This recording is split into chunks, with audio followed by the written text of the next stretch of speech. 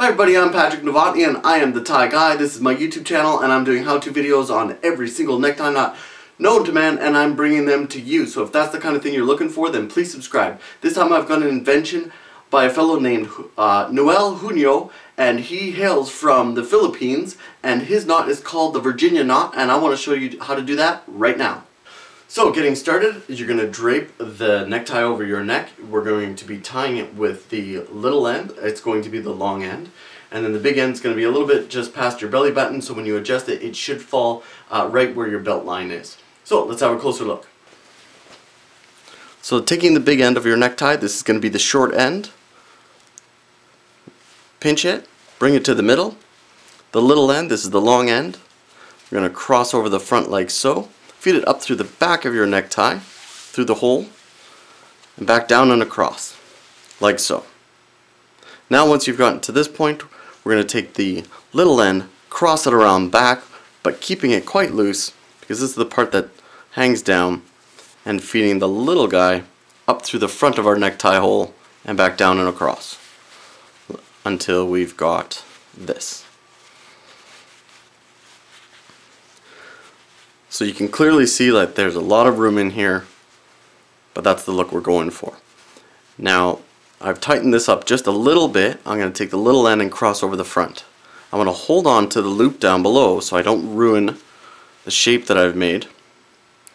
Now I've got the little end.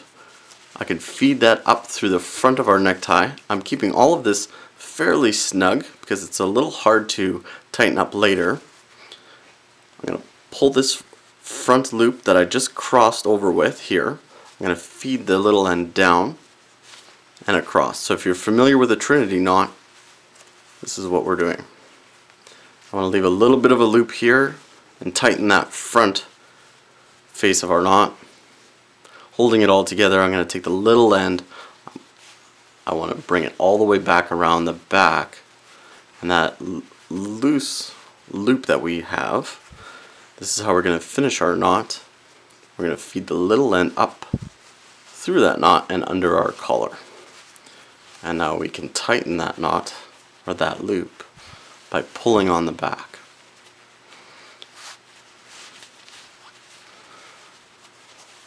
Now I lost a little bit of the shape of my loop at the bottom, but I can easily pull that, pull on that to get the shape that I'm looking for Now holding on to the part where it looks like the trinity knot, pulling down on the big end we can cinch that up to our neck. a little bit of adjustment, you get it looking just the way you want. That's how you do the Virginia knot.